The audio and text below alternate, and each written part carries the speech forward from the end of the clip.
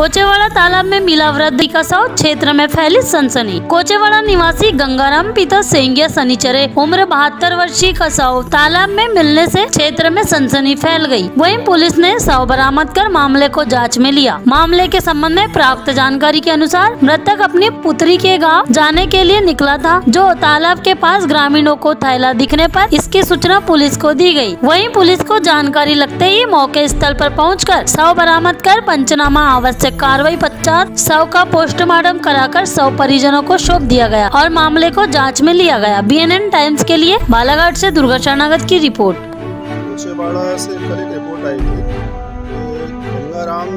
पिता ये बहत्तर साल उम्र के थे। तो ये घर से सुबह साढ़े सात बजे निकले थे और दोपहर में इनके घर के लोगों को सूचना मिली कि उनके कपड़े और थैला तालाब के पास में है।